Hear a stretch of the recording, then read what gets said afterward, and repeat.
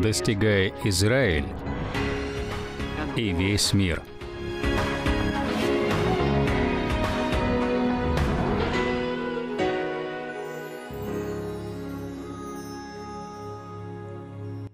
Шалом, едидим, друзья и возлюбленные. Мир и благодать всем вам. Барух Хашем, благословенное имя Господне. Дорогая, сегодня мы углубимся в Слово Божие. Я хотел бы поговорить о том, как важно развивать привычку постоянно проводить время наедине с Богом.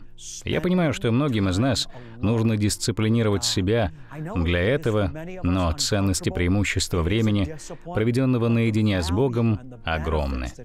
В Библии сказано, что Иисус часто удалялся в уединенное место, чтобы провести время со своим Отцом Небесным. Он понимал, как важно удалиться от людей, чтобы побыть только со своим Отцом. Что ты об этом думаешь? Тем самым Иисус показывает нам путь, путь к миру и покою, и к тому, как твердо стоять на жизненном пути. Недавно я читала статью об одном мужчине. Он был очень одинок. Он искал счастья и удовлетворения. Он шел то в одном, то в другом направлении. В итоге он стал заниматься дайвингом. И там, наконец, в полной тишине он услышал Бога. И он понял, вот что мне нужно время с Богом. Время с Богом дает нам мир. Тот самый мир, который наш Творец приготовил для нас. Шалом, едидим. Едидим — это на иврите «друзья» или «возлюбленные». И где бы вы ни смотрели нас сейчас, добро пожаловать в леса Колорадо. Я здесь провожу время наедине с Богом. Здесь я впитываю Бога и Его славу.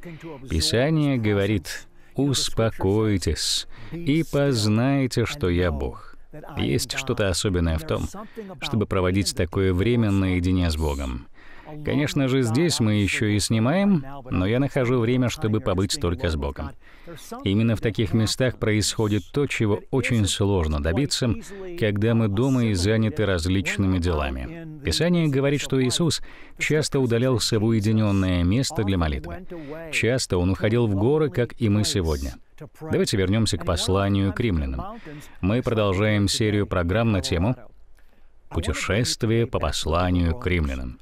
Сегодня это уже третий выпуск на эту тему. Я хочу окунуться в эту книгу, потому что послание к римлянам — это Евангелие, проповеданное церкви апостолами. Сегодня мы продолжим читать с первой главы 16 стиха. Вначале Павел пишет, «Ибо я не стыжусь благовествования Христова». Повторюсь, если мы хотим знать, что такое благовестие или Евангелие, то нам нужно выяснить, а что об этом говорит Писание. Евангелие, которое проповедуется сегодня — это совсем не то Евангелие, которое было оставлено святым. В другом своем послании Павел написал, «Если кто-то принесет вам другое Евангелие, не такое, как принес я, то пусть он будет проклят». Поэтому нам нужно внимательно изучить, что именно Писание называет Евангелием.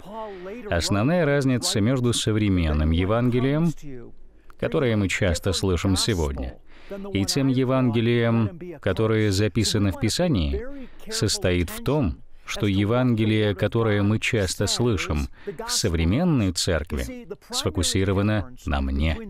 Все мне и для меня любимого. А вот какое Евангелие мы чаще всего слышим сегодня. В современных проповедях Бога нам представляют так. Мы можем использовать Бога для достижения своей мечты. Иными словами, если вы верите в Бога, то Он решит все ваши проблемы с финансами, с браком, вы получите продвижение по службе, вы будете успешны, богаты и счастливы. То есть суть в том, что Бог должен делать нас счастливыми. Все ради нас. Но это не то Евангелие, суть которого в том, чтобы в первую очередь прославлять Бога. Евангелие, которое дал нам Павел, начинается с того, что человек осознает свою греховность и понимает, что именно из-за греха он отделен от Бога. Но по своей милости Яхве, Бог Авраама, Исаака и Иакова, исполнил свои обещания, записанные в Писании, послав Искупителя Иисуса, потомка Авраама.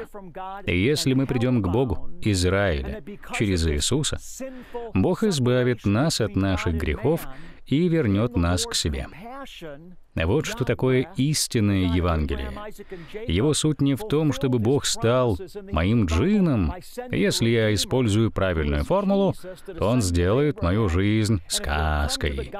Поэтому я хочу, чтобы вы обратили особое внимание на то, что Писание говорит об истинном Евангелии. И как сказал Павел, если кто-то проповедует другое Евангелие, то пусть будет проклят. Нам нужно вникать в Слово Божие. Поэтому давайте продолжим читать послание к римлянам, 1 глава, 16 стих. «Ибо я не стыжусь благовествования Христова, потому что оно есть сила Божия ко спасению всякому верующему, во-первых, иудею, потом и елену. Слово «спасение» переведено с греческого, на котором был написан Новый Завет. И на греческом оно звучит как «созо». Оно означает целостность в духе, душе, разуме и теле. Поэтому, когда Павел говорит, что Евангелие — это сила Божия к спасению, он имеет в виду, что через принятие Иисуса мы входим в целостность с Богом. Эта целостность возможна только благодаря взаимоотношениям, и они дают нам шалом в духе, душе и теле. Получается, что глубочайшие желания нашей души удовлетворяет только Бог, не вещи, а Бог. Иисус сказал, что вечная жизнь в том, чтобы вы познавали Бога и Иисуса — который вознесся к нему. Итак, благая весть или Евангелие, о котором говорит Павел, должно привести нас к спасению и сделать нас целостными в Боге благодаря тому, что мы в отношениях, в единстве с нашим Творцом. Ну а мы продолжим читать.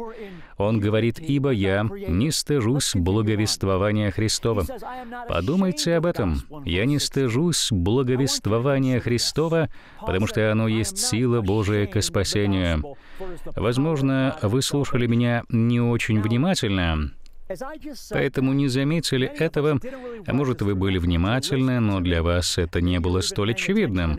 Возможно, вас не зацепила фраза Павла «Я не стыжусь благовествования Христова». Но я хочу, чтобы она вас зацепила. В Новом Завете есть еще одно место, где сказано «Итак, не стыдись свидетельства Господа нашего Иисуса Христа». Я считаю себя весьма смелым свидетелем Иисуса. Когда я только спасся в 78 году, если бы вы стояли позади меня в магазине, то я бы повернулся к вам и стал говорить о Боге. Иисус сказал, «Вы будете мне свидетелями». Я не знал, будет ли у меня еще одна возможность засвидетельствовать тому человеку. Я хочу сказать, что считаю себя смелым свидетелем Иисуса, но даже мне иногда приходится бороться с чувством стыда за Евангелие, что что же я имею в виду? Господь, прости меня за такие слова, но я иногда ловлю себя на этом. Я распечатал небольшие карточки, на которых написано «Кто я ком?». С другой стороны, написано три вопроса, а именно «Откуда я?», «Почему я здесь?» и «Есть ли что-то большее?». На обратной стороне написан адрес нашего сайта, и когда они заходят на него, там я рассказываю им Евангелие. Однажды я сидел в машине и собирался войти в какой-то магазин. Со мной были эти карточки, и я подумал, когда я буду выходить из магазина, нужно будет дать одну из них человеку, который стоит на выходе. И внутри у меня тут же возникли такие мысли. А зачем это делать? Он точно не возьмет и подумает, что я какой-то странный, а может и сумасшедший. Но затем я сказал себе, о нет, не стыдись Евангелия или свидетельства о Господе. Я понимаю, что у некоторых из вас тоже бывают с этим проблемы. И я хочу ободрить вас. Выходите из своей зоны комфорта. Я понимаю, что это сложно. Я вас не осуждаю. Бог любит нас, но мы должны быть Его свидетелями. Как говорил Павел, не стыдитесь Евангелия. Я хочу продолжить читать, но хочу подчеркнуть серьезность этих слов. Мы должны быть свидетелями. Нам нужно преодолевать чувство стыда, потому что мы не должны стыдиться. Мы не должны позволять дьяволу стыдить нас за смелое свидетельство об Иисусе на земле. Я мог бы долго говорить об этом, но я евангелист, и я хочу передать вам свое помазание. Когда Господь призывает апостолов, учителей, евангелистов, пророков и пасторов, то одна из их ролей — передавать свое помазание всему телу Христа. Ну а мы пойдем дальше. «Ибо я не стыжусь благовествования Христова, потому что оно есть сила Божия к спасению всякому верующему. Во-первых, Иудею, потом и Елену. Тут есть еще одна важная мысль. Я понимаю, что мы движемся очень медленно, но это стоит затронуть. К сожалению, многие люди в церкви считают, что Евангелие хорошо для язычников, а евреям оно не нужно. А еще многие христиане не свидетельствуют евреям об Иисусе, потому что думают, что этого делать не стоит, так как евреи и так Божий избранный народ. Они решают не рассказывать евреям, что Иисус — это их Мессия. Но заметьте, что здесь говорит Павел. Оно есть сила Божия к спасению всякому верующему, во-первых, иудею, потом и Елену. Павел не пишет, что Евангелие — это сила к спасению только язычников или только греков. Он пишет, что оно спасает и евреев, и греков. Либо Иисус — Спаситель мира, либо Он ничей не Спаситель. Либо Он Мессия для всех, либо ни для кого. Он — единственное послание, которое приносит спасение. Поэтому не стесняйтесь рассказывать о своей вере евреям, даже прежде всего. Им Иисус нужен так же, как и вам. Именно поэтому Иисус сказал своему народу, Израилю, «Если вы не поверите, что Я — Мессия, которого вы так ждете, если вы не поверите, что Я — это Он, Я есмь, то умрете в своих грехах. И когда он приходил, он говорил, «Я должен благовествовать дому Израилеву».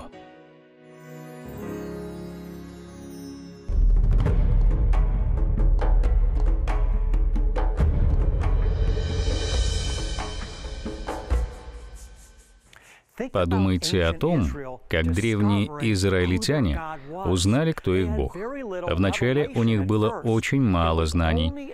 Только со временем Господь начал открываться им, и они поняли, какой Он сострадательный и как Он сочувствует их слабостям. Господь открывал людям свою природу и свой характер через свои имена. Одно из имен, которое Он открыл им, это Яхве Нисси, или Господь — наше знамя, наша победа. Знамя — это символ победы в вашей жизни. Я хочу, чтобы вы поняли, поскольку вы принадлежите Иисусу, поскольку вы были рождены свыше в Иешуа, внутри вас есть Дух, который будет постоянно заставлять вас подниматься наверх и побеждать. Почему? Потому что Яхве Нисси поднял знамя победы над вашей жизнью и сказал, что тот, кто в вас, больше того, кто в этом мире. А еще Он сделал вас больше, чем победителем в Царе Иешуа. Поэтому стойте твердо, Будьте смелыми и провозглашайте, кто вы. В Яхве вы победитель, обреченный побеждать вечно.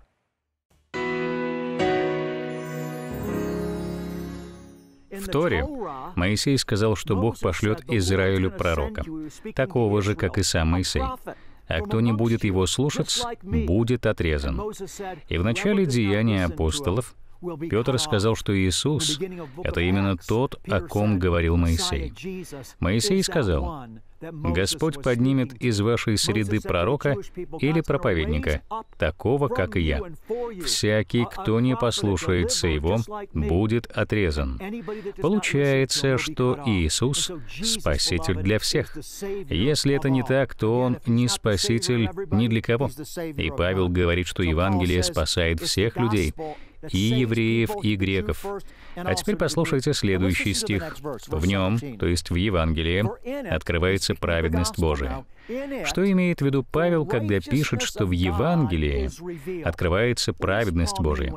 Чтобы понять, что имеет в виду Павел? Давайте посмотрим первый и второй стихи в этой же главе. Павел представляется и говорит, «Павел, раб Иисуса Христа, призванный апостол, избранный к благовестию Божию, которое Бог прежде обещал через пророков своих в святых писаниях». Павел пишет, что он стал посланником агентом Божьим, чтобы нести послание, которое Бог прежде обещал через пророков своих в святых писаниях. Иными словами, в Торе, в еврейском писании, Бог обещал поднять Спасителя, прислать Мессию, и еврейский народ ждал Мессию. Когда Иисус пришел на землю, они уже давно ожидали Мессию. И в Израиле появлялось множество фальшивых мессий. Но когда пришла полнота времен, Бог послал настоящего Мессию. Он послал своего Сына. И в том, что Он послал к нам своего Сына в качестве Мессии, и была явлена нам Его праведность. Где же здесь праведность? Она в том, что Он исполнил то, что обещал. Еще раз посмотрим второй стих.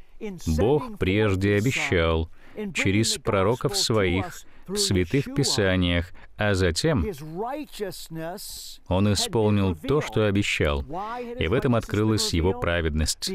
Он выполняет свое слово.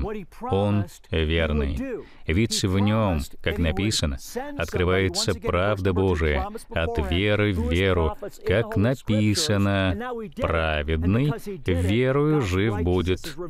Павел подчеркивает здесь тот факт, что спасение всегда приходит через веру. Вспомните первого еврея Авраама. Как у него начались отношения с Богом? Он что, соблюдал десять заповедей? Нет, их еще не было. Авраам вступил в отношения с Богом через веру.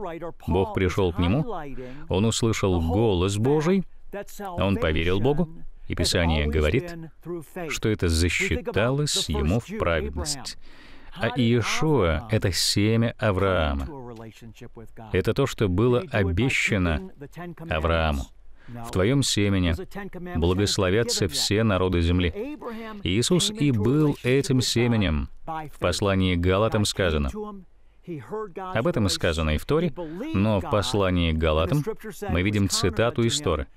«Бог сказал Аврааму, в твоем семени, Авраам, благословятся все народы земли». А в послании к Галатам Павел пишет, что семя, о котором говорил Бог, есть Иисус. Итак, как Авраам вступил в отношения с Богом? Исключительно через веру, как мы сегодня вступаем в отношения с Богом. Вы знаете? Тоже через веру в Иешуа. И в послании к римлянам, 1 главе, 17 стихе, мы читаем, что Евангелие передавалось от веры в веру. Все началось с Авраама, а кульминацией стала вера в нашего царя Иисуса. В следующий раз мы поговорим с вами о том, насколько вы понимаете, зачем Бог послал нам Мессию. Бог любит нас. Он желает, чтобы у нас все было хорошо. Он желает, чтобы мы были счастливы, потому что Он счастливый Бог. Но если мы не понимаем всю серьезность греха и его последствия, мы не сможем по-настоящему понять, зачем пришел Иисус, почему Он пролил свою кровь, почему Он был прибит ко кресту. Ну и в 18 стихе говорится, что открывается Божий гнев с неба на всякое нечестие и неправду человеков, подавляющих истину неправдою. Ранее я говорил, что послание к римлянам — это самое всеобъемлющее с доктринальной точки зрения послание во всем Слове Божьем, которое помогает нам понять нашу веру в Бога через Иисуса. Это и есть Евангелие. Еще раз. Ибо открывается гнев Божий с неба на всякое нечестие и неправду человеков, подавляющих истину неправдою. Если мы не понимаем основные концепции в послании к римлянам, то и Евангелие мы тоже не понимаем. А как Павел помогает нам понять его? Во-первых, он говорит, что это благая весть и сила Божия к спасению. В 18 стихе он рассказывает от чего нам нужно было спасение. Во-вторых, Павел говорит нам, что нам нужно спасение от гнева Божьего. Послушайте это еще раз. «Ибо открывается гнев Божий с неба на всякое нечестие и неправду человеков». И в следующий раз я поговорю с вами о гневе Божьем и о страхе Божьем. Я не хочу навязывать вам чувство вины, а лишь хочу показать, насколько серьезен грех и его последствия. Также нам нужно осознать, что страх Божий — это начало мудрости. Страх Божий чистый, он меняет души. Нам нужно ходить в любви к Богу, а также иметь к Нему святой страх, потому что они вместе меняют нас и преображают в образ Иисуса. Даже Иешуа сказал, «Не бойтесь людей, которые могут убить только тело. Бойтесь Бога, который может уничтожить и тело, и душу в аду. С вами сегодня был Равин Шнайдер. Бог очень любит вас. Я тоже люблю вас. Шалом. Господь дал Моисею конкретные указания относительно того, как благословлять детей Израиля в книге «Числа» 6 главе с 22 стиха. Господь сказал Моисею следующее. «Так благословляйте сынов Израилевых, да благословит себя Яхве и сохранит себя». Ява,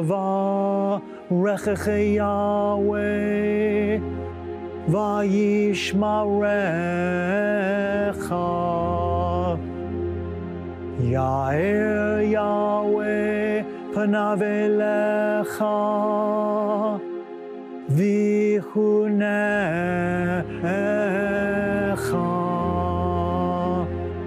יישא יהוה פניו אליך וישם לך.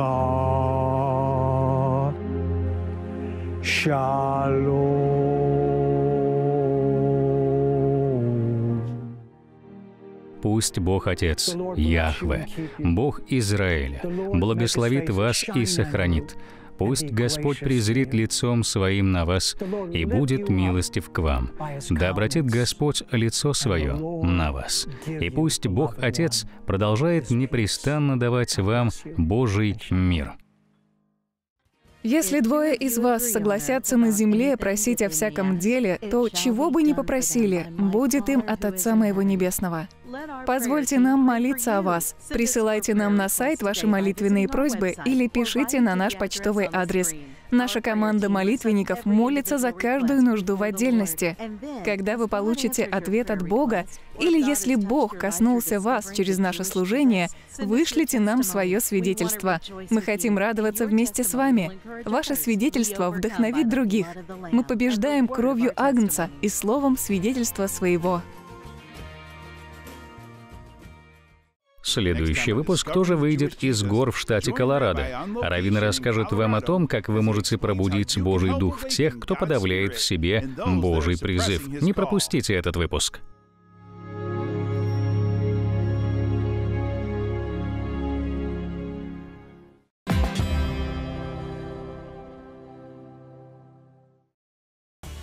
Вы получаете назидание в вере и обновление через проповеди Равина.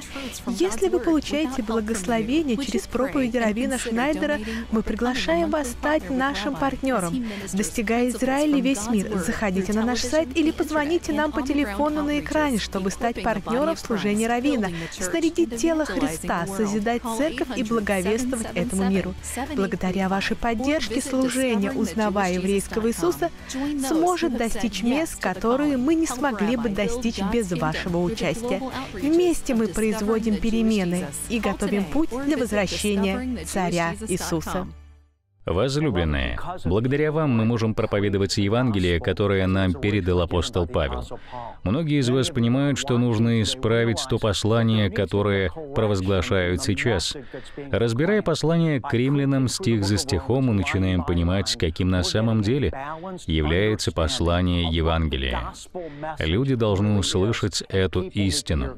Иешуа дал нам поручение, которое состоит в том, чтобы проповедовать Евангелие всему творению творению.